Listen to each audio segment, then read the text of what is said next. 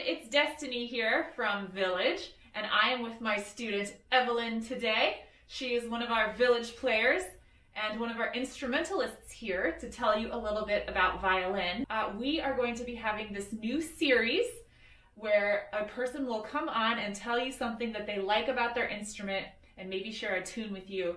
Think of it as a musical petting zoo, but virtual. So you don't actually get to pet the instruments, but you get to hear them and some neat things about them and inspiring things about them. So I thought I would ask Evelyn first, what is your favorite thing about playing the violin?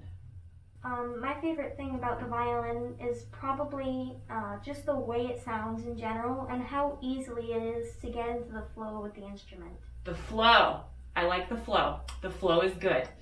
What is the coolest or the most fun sound that you enjoy making? Maybe something kind of wacky. Well, I personally really like to play high pitched slides, so slides on the A or E string. Can you show us?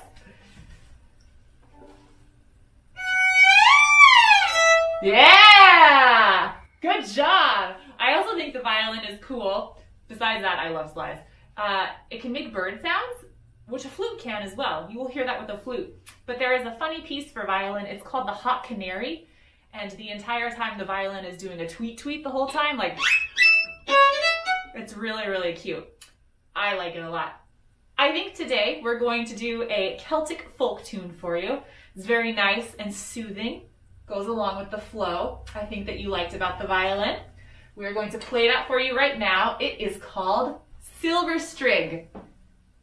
All right.